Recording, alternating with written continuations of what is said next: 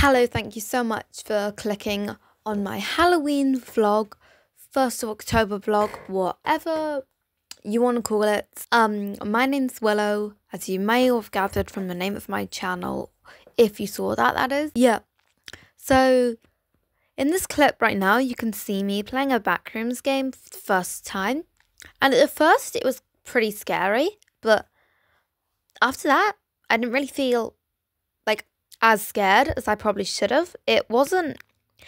I kind of expected it to be creepier in a way, but at the same time, I didn't. Because when I started playing, I expected it to be creepier, but before I downloaded it, I didn't really expect it to be that creepy. But I found a better one than this, which I might play on the channel some point. Yeah. I'm actually really excited that it's Halloween. I, I'm thinking about making boo baskets, but I don't know if I will because my dad says they just promote overconsumption and capitalism. But really, you can literally just make a lot of things in it, and I like making things, and you can make things out of Hama beads and stuff. But yeah, and resin's also really good. So, um, yeah, I really liked the Backrooms game. It was pretty cool, but yeah. So I got a bunch of new socks and for some reason I want to show them on this Halloween vlog. So yeah, I, I'm just going to do that. Black socks. Black socks. Black socks. Black socks. And then I also have white socks, white socks, white socks, and white socks.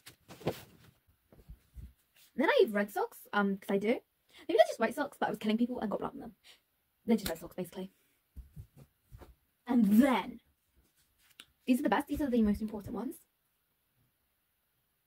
I've got, I've got, got gay socks. The socks are gay. I've got the, the rainbows. Yeah. They're like me. I put a bracelet on a pumpkin. So in this clip right here, you can see me writing on loads of foam ghosts and then bats and witches hats. But yeah, I don't know what I'll do with them. I might just give them to my friends or if I make boo baskets, I will do that. But yeah, thank you so much for watching this video. I actually really hope you enjoyed it. And if you did, please consider looking at my channel and subscribing. But yeah,